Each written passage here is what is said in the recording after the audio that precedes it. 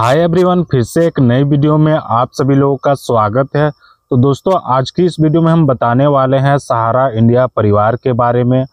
अगर आपका भी पैसा सहारा इंडिया परिवार में फंसा हुआ है, चाहे वो पाँच हज़ार हो, पचास हज़ार हो या फिर लाखों हो तो आप लोग इस वीडियो को कंप्लीट ज़रूर देखें।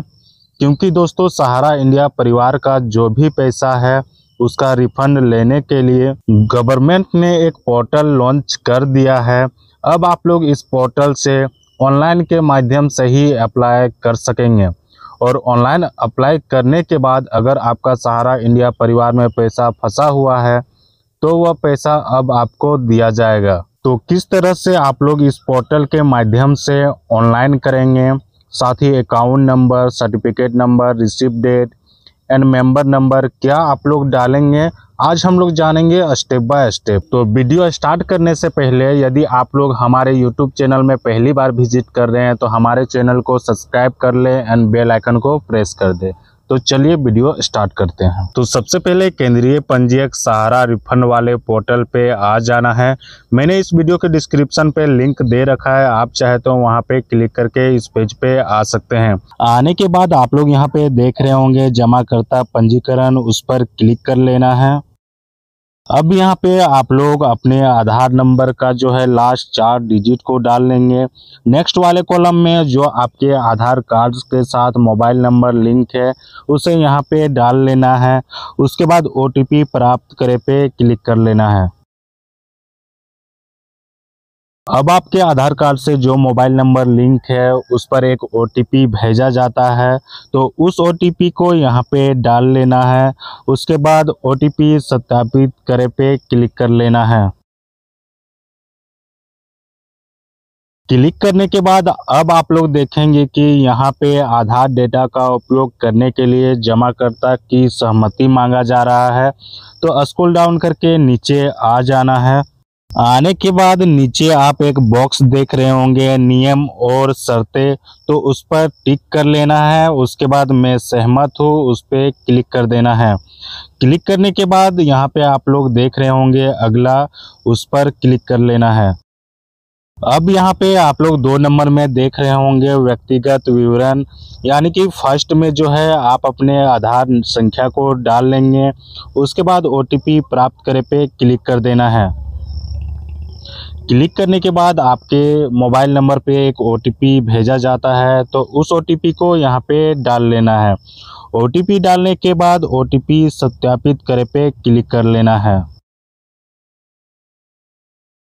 तो आधार कार्ड वेरीफाई होने के बाद आपका जो विवरण आधार कार्ड में दिया हुआ रहता है, वो यहाँ पे सारा शो कर दिया जाता है। यहाँ पे आप लोग नीचे देख रहे होंगे इंटर योर ईमेल यहाँ पे आप अपने ईमेल आईडी को डाल लेंगे।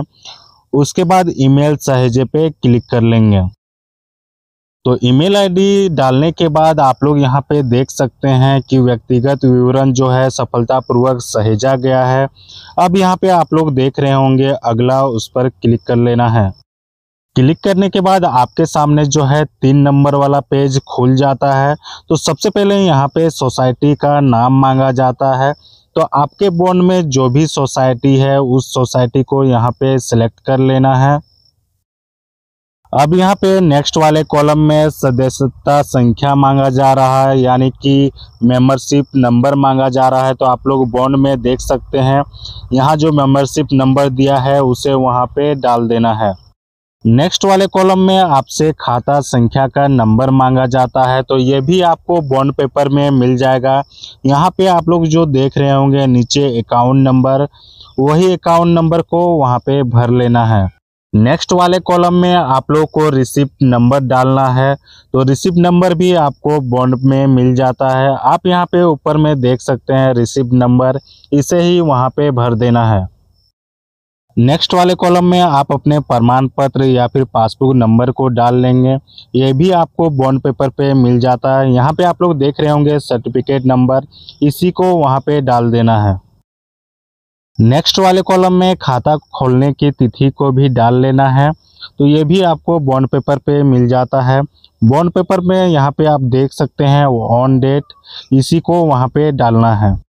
अब नेक्स्ट वाले कॉलम में आप अपने योगदान राशि, यानी कि आप लोगों ने अब तक कितना सहारा इंडिया में डिपॉजिट किया था, उसको यहाँ पे भर लेना है। तो यहाँ पे गलती से आप लोग मेचोरिटी अमाउंट को नहीं डालेंगे। आप लोग अपना पैसा जितना डिपॉजिट किए हैं, उसे ही भरेंगे। यानी कि sum of rupees in figure इस वाले को वहाँ पे भरना है। भरने के बाद नेक्स्ट में आपसे पूछा जा रहा है कि कोई आंशिक भुगतान प्राप्त हुआ है, यानी कि आपने सहारा इंडिया से कभी विथड्रॉल किया था। यदि किया था तो बॉक्स पे टिक कर देना है। तो जो व्यक्ति सहारा इंडिया से मतलब पहले विथड्रॉल नहीं किया हुआ था तो यहाँ पे अनटिक ही रहने देंगे। नेक्स्ट में आपसे पूछा जाता है, क्या आपने सोसाइटी से ऋण लिया है?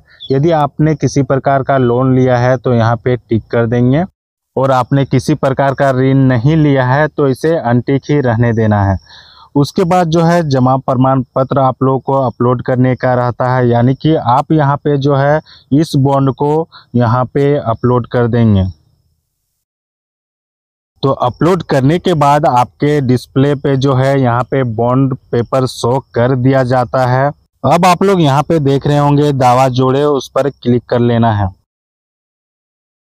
दावा जोड़े पे क्लिक करने के बाद यहाँ पे जो है आपका यहाँ पे एक बॉन्ड पेपर यहाँ पे ऐड कर दिया जाता है। यदि आप लोग के पास चार पाँच ठो बॉन्ड पेपर है और पासबुक है तो इसी तरह सभी का सोसाइटी सेलेक्ट कर लेंगे, उसके बाद सारे का डाटा मेंटेन कर लेंगे एंड आप बॉन्ड पेपर को अपलोड कर लेंगे और उस, और इसी तरह से दावा जोड़े पे क्लिक करके सभी को ऐड कर लेना है। ऐड करने के बाद यहाँ पे नीचे आप लोग देख रहे होंगे, अगला उस पर क्लिक कर देना है। अब आप लोग के सामने एक फॉर्म आ जाता है तो इस फॉर्म को सबसे पहले डाउनलोड कर लेंगे।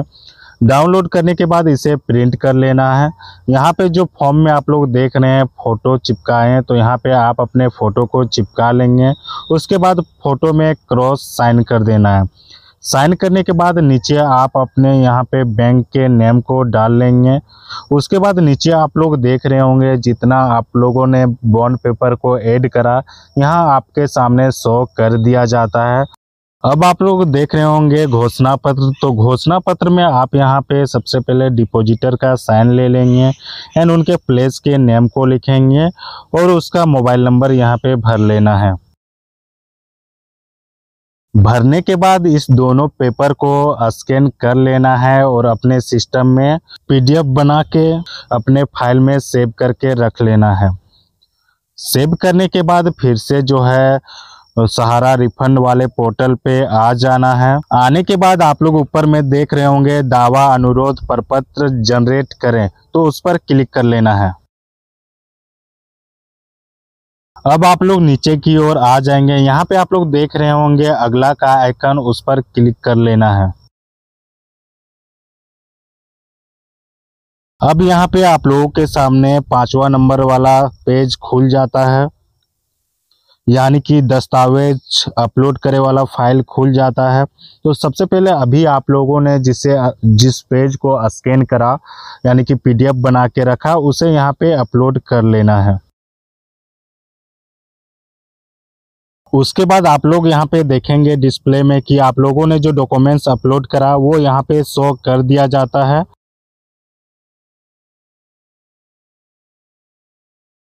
अब आप लोग यहाँ पे देख रहे होंगे येलो कलर में अपलोड करें, उस पर क्लिक कर देना है।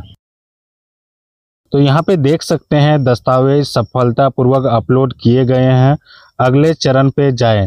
तो यहाँ पे आप नीचे देख रहे होंगे, अगला का आइकन उस पर क्लिक कर लेना है। क्लिक करने के बाद आपके सामने एक स्लिप जनरेट हो जाता है। तो इस वाले स्लिप को आप अपने पास प्रिंट करके रख लेंगे। कंपनी जो है आपको 30 से 15 दिन या फिर 45 दिनों में आपसे कांटेक्ट करेगी और आपसे जो है आवेदन संख्या मांगा जाएगा और आपसे डिटेल्स मांगा जाएगा। तो आज की इस वीडियो में हम लोगों ने जाना कि सहारा इंडिया रिफंड में किस तरह से आवेदन किया जाता है। अब हम लोग मिलते हैं नेक्स्ट वीडियो में न्यू अपडेट के साथ। तब तक के लिए जय हिंद।